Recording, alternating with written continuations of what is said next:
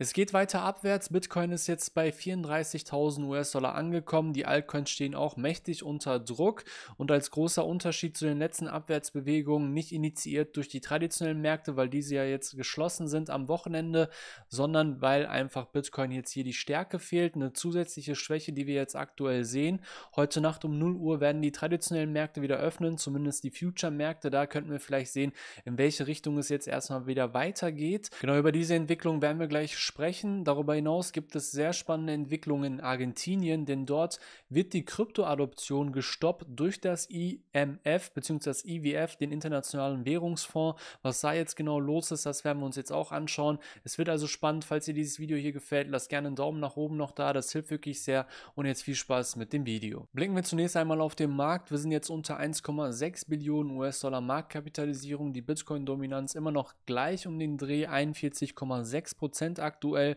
Und wie ihr es schon sehen könnt, der gesamte Markt natürlich jetzt im roten Bereich. Ethereum auf 2500 US-Dollar gefallen, 4,5% im Minus und natürlich die ganzen kleineren Altcoins auch ordentlich hier am Boden verlieren. Bitcoin bei 34.000 US-Dollar, den Boden gebildet bei 34.100 um den Dreh. Aber da werden wir wie immer auch am Ende des Videos nochmal genau auf den Chart blicken. Da habe ich auch wirklich interessante Statistiken mal mitgebracht für euch, die jetzt aktuell relevant sein könnten. Es gibt natürlich auch kleinere Hoffnungsschimmer, aber da sprechen wir gleich noch drüber. Kommen wir zunächst einmal zum IMF bzw. zum IWF, je nachdem, ob man es jetzt lieber Englisch oder Deutsch mag der internationale Währungsfonds. Da hört ihr immer wieder wahrscheinlich auch die Artikel zu in Bezug auf Kryptowährungen, vor allem dann, wenn Länder herkommen und sich für die Kryptoadoption interessieren, dann werden immer wieder ja die Bedenken geäußert, dass man da ja vorsichtig sein sollte wegen Geldwäsche, Finanzstabilität etc. Habt ihr wahrscheinlich schon öfter mitbekommen, aber für diejenigen, die vielleicht jetzt noch gar nicht wissen, was der internationale Währungsfonds ist,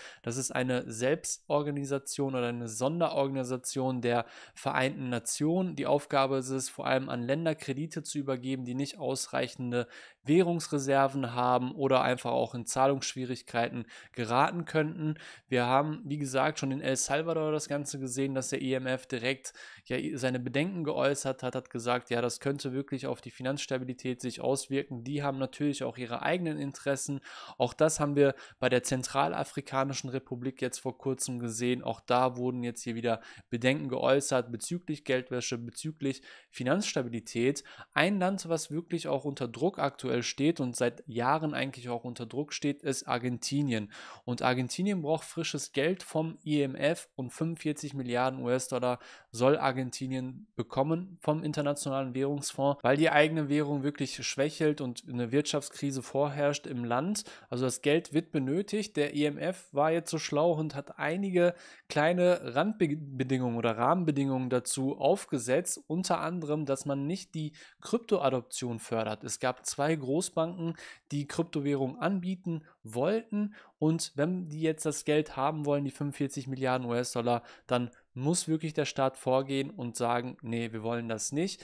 Diese Banken dürfen oder die Finanzinstitute dürfen jetzt nicht mit Kryptowährungen handeln, dürfen keine Kryptowährungen anbieten. Und auch hier gibt es wieder diese Zitate. Also das Land soll jetzt hier das Ganze hemmen, Kryptowährungen zu nutzen zur Erinnerung, in Argentinien vor allem sehr beliebt Kryptowährungen aufgrund der aktuellen Lage dort. Und hier wird wieder Geldwäsche, Finanzstabilität etc. genannt und weil sie das Geld wahrscheinlich auch so brauchen, wird das auch so durchgesetzt werden. Natürlich für die einzelnen Nutzer, für die Bewohner wird es natürlich nicht so einfach, das Ganze so zu stoppen, zu verbieten. Ihr kennt das Spiel, aber für Finanzinstitute wird es natürlich dann sehr schwierig, weil das IMF jetzt hier das als ja, Voraussetzung sozusagen gesetzt hat, um die 45 Milliarden US-Dollar zu bekommen kommen. Da werden wir wahrscheinlich auch in Zukunft immer wieder Gegenwind noch vom IMF sehen, aber das ist wirklich eine sehr spannende Entwicklung, wie ich finde. Da braucht ein Land, was wirklich in Bedrängnis gerade auch ist, Geld und da werden Voraussetzungen jetzt hier geschaffen, um dieses Geld auszuzahlen und da wird natürlich Argentinien mitziehen müssen, weil sie, wie gesagt, das Geld einfach brauchen. Kurzer Hinweis noch zum Steuertool CryptoTax vom Blockpit. Das empfehle ich euch ja immer wieder und die Zeit läuft auch einigen, glaube ich, davon. Bald ist die Frist ja auch erreicht. Macht eure Steuern mit Blockpit. Da könnt ihr Accounts, Wallets einpflegen und es wird alles automatisch ausgewertet. Da müsst ihr nicht mehr viel dann tun. Es gibt ja, wie gesagt, auch einen günstigen Plan jetzt für 49 Euro im Moment und zusätzlich mit meinem Link bekommt ihr auch noch einen Bonus. Den findet ihr hier unter dem Video 25% nochmal drauf verkauft, dann seid ihr unter 40 Euro und könnt dann eure Steuern komplett tracken, seid auf der sicheren Seite. Das benutze ich auch wirklich selber, das kann ich euch auf jeden Fall empfehlen, falls ihr das noch nicht gemacht habt und wirklich auch viele Transaktionen habt, egal ob im DeFi-Bereich oder wenn ihr handelt, tradet, dann lohnt sich das auf jeden Fall. Ihr könnt es auch einmal kostenlos hier einmal testen. Schaut euch das an, nutzt gerne den Link für die 25% Rabatt und damit unterstützt ihr natürlich auch wie immer mich. Ja, heute Morgen gab es den Abverkauf und insgesamt in den letzten zwölf Stunden zu diesem Zeitpunkt, wo das hier gepostet war, wurden schon wieder 240 Millionen US-Dollar an Kryptowährungen liquidiert an den Märkten, weil es dann wieder so stark nach unten gegangen ist. Und zur Erinnerung, diese Zahlen sind die offiziellen Zahlen, die übermittelt werden. In der Wirklichkeit sieht das nochmal ein bisschen ganz anders aus. Viele Börsen übermitteln die Daten gar nicht mehr so transparent, wie viel wirklich liquidiert wird. Interessant ist aktuell, wir haben ja natürlich den Wochenabschluss heute, dass wir jetzt hier die sechste sechste Woche haben, wo wir eine rote Kerze sehen. Also hier die dritte, vierte, fünfte und jetzt aktuell die sechste. Die werden wir auch wahrscheinlich nicht mehr positiv abschließen, wenn jetzt nicht nochmal was Wildes passiert. Das sind 4000 drüber der Anfang der Woche gewesen. Also das wird ein bisschen schwierig. Und mal zur Erinnerung oder zur Einordnung, sechs Wochen in Folge eine rote Kerze hatten wir zuletzt 2014 im August, September. Also so eine lange Durststrecke, wo es wirklich jedes Mal da nach unten ging, ohne wirkliche Erholung. Gab es lange nicht mehr und aus diesem Grund könnte natürlich auch die Hoffnung jetzt so ein bisschen sein, okay, wir wurden jetzt sechs Wochen hintereinander abverkauft. Vielleicht kommt jetzt irgendwann die Gegenbewegung, auch wenn das jetzt nicht hier den Trendwechsel gibt, aber vielleicht eine Gegenbewegung. Was natürlich jetzt ganz wichtig sein wird, was machen die traditionellen Märkte? Dazu kommen wir gleich auch nochmal. Aber hier vielleicht auch nochmal der Fear Greed Index, den wir uns auch immer ab und zu mal anschauen. Jetzt auch wirklich auf einem sehr niedrigen Niveau. Wir sind jetzt hier bei absoluter Furcht, bei 18. Hier auch farblich im Chart nochmal dargestellt. Und historisch betrachtet sind das die Zeitpunkte, wo irgendwann der Boden gebildet wird. Aktuell aber natürlich mit der Marktphase, auch mit den traditionellen Märkten, mit der ja, gesamtwirtschaftlichen Situation ist es natürlich jetzt nicht einfach zu vergleichen. Das sah 2021 ja ganz anders aus mit der Lage um die Welt, um die Wirtschaft, um die Geldpolitik vor allem auch. Deswegen jetzt hier das Ganze nicht zu hoch bewerten, aber wir sind auf jeden Fall hier bei der extremen Furcht. Das merkt man auch, die Leute werden immer frustrierter, weil wir auch sehr viele Leute haben, die jetzt im Verlust sind. Also mal anhand der Transaktionsdaten, anhand der Blockchain mal ausgewertet, wie viele Coins sind im Minus. Man schaut sich einfach an, wann wurden diese Coins bewegt, geht einfach davon aus, dass sie zu diesem Zeitpunkt dann gekauft worden sind wo sie dann das letzte Mal bewegt worden sind. Insgesamt 7,7 Millionen Bitcoin sind gerade im Verlust. Das macht 41 Prozent des Supplies gerade aus und das hatten wir zuletzt am 15. April 2020, also kurz nach, der, nach dem Crash, wo das Ganze mit der Pandemie losging. Also ziemlich hoher Wert, was das angeht. Also sehr viele Leute sitzen im Verlust und das könnte auch natürlich irgendwann dann bedeuten, dass irgendwann die Kapitulation da ist und dass dann irgendwann die Gegenbewegung kommt. Viel wichtiger wird aber natürlich die Frage sein, wie sieht es mit den traditionellen Märkten aus? Heute Nacht um 0 Uhr geht es weiter. Gibt es irgendwas an Informationen, die jetzt am Wochenende hinzugekommen sind für die Anleger, dass es vielleicht eine Gegenbewegung gibt oder sogar vielleicht noch stärker abverkauft wird?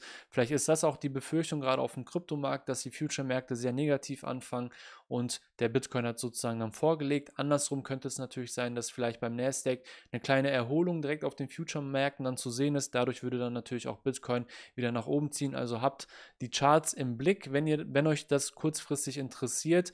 Auch da interessante Statistiken mal zum Nasdaq, wenn man sich die Bärenmärkte mal anschaut und wie lange und wie stark die waren, werden wir jetzt aktuell sehen, wir sind jetzt inzwischen bei 24% beim Nasdaq, 168 Tage jetzt im Abwärtstrend. Zuletzt waren wir so lange in einem Abwärtstrend 2007, 2008, also da, wo die letzte Wirtschaftskrise global auch vorgeherrscht hat. Davor hatten wir nicht wirklich so lange ja, Bärenmärkte. Und da ist jetzt die Frage natürlich, wird das genauso stark wie beispielsweise 2007, 2008 und vor allem auch genauso lange? Also haben wir jetzt hier vielleicht nochmal fünf, sechs Monate weiteren Abwärtstrend, wenn wirklich der Nasdaq 50 Prozent insgesamt dann nach unten gehen sollte, werden wir das natürlich auch bei Bitcoin sehen, wenn die Entkopplung nicht stattfindet. Aber wir sehen schon, wir haben auf jeden Fall eine kleine extreme Situation verglichen mit der Historie, also schon seit 14 Jahren, 15 Jahren nicht so eine Korrektur gesehen, an den traditionellen Märkten, zumindest hier beim Nasdaq nicht. Und das kann man auch charttechnisch ziemlich so äh, genauso sehen. Wir sehen zum Beispiel den RSI auf dem tiefsten Wert seit 2008 und 2001, also seit den größeren Crashs, die wir in der jüngeren Vergangenheit, wenn man das noch jung überhaupt noch nennen kann, aber seit der Dotcom-Blase und der Finanzkrise 2008 ist das sehr technisch gesehen über Verkaufsbereich, den wir jetzt beim Nasdaq gesehen haben, auch da ein Hoffnungsschimmer und genau das gleiche natürlich auch bei Bitcoin. Aber zum Vergleichen jetzt hier bei Bitcoin vor allem kurzfristig hier dargestellt das Ganze, da hatten wir natürlich nicht, wie gesagt, diese Rahmenbedingungen, die wir jetzt haben, geopolitische Krisen, geldpolitische Umwandlungen, was wir da jetzt gerade sehen, also eine 180-Grad-Wende der US-Notenbank und aus diesem Grund vielleicht nicht so einfach so leicht zu bewerten. Wir könnten natürlich irgendwann eine Gegenbewegung sehen. Je länger sich das anhält, desto wahrscheinlicher wird es auch. Aber interessant ist natürlich jetzt bei Bitcoin, dass wir jetzt auch in diese Zonen kommen, dass wir tiefere Tiefs hier bilden. Also das Tief haben wir jetzt ganz kurz rausgenommen. Zur Erinnerung, diese Linie hatten wir ja auch im letzten Video noch eingezeichnet, das Tief hier vom 24. Februar. Genau dort sind wir jetzt mehr oder weniger abgeprallt. Und wichtig wäre es natürlich, wenn wir das Ding jetzt hier halten, vielleicht einen Doppelboden bilden und dann eine Gegenbewegung sehen. Aber rein technisch, nur auf technisch oder technische Analyse zu schauen, ist jetzt wirklich der falscheste Zeitpunkt meiner Meinung nach, weil einfach diese Korrelation vorherrschen und die Abhängigkeiten mit den News da draußen, die sind einfach da. Und wenn wirklich der Nasdaq jetzt hier noch diese Woche oder die kommende Woche jetzt hier weiter abverkauft wird, dann kann ich mir auf jeden Fall vorstellen, dass wir nochmal neuere Tiefs hier bilden und sogar vielleicht in unsere grüne Box laufen, 30.000 US-Dollar um den Dreh.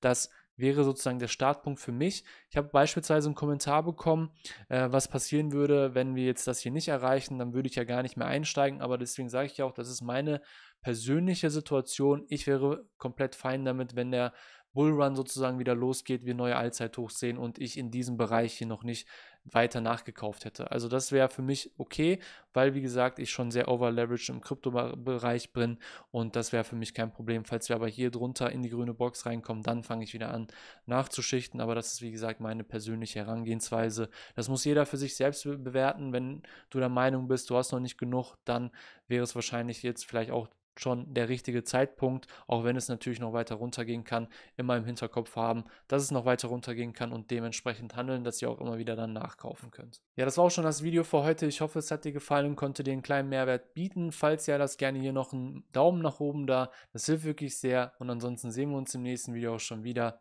Ciao, ciao.